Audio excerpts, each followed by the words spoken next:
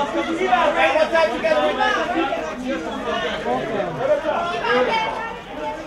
right, today.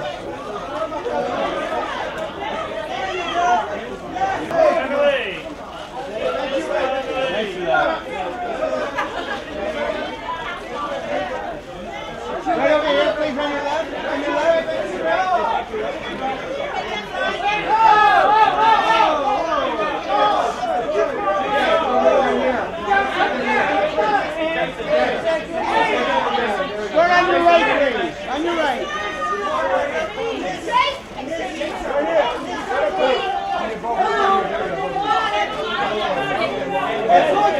Don't you get in the way.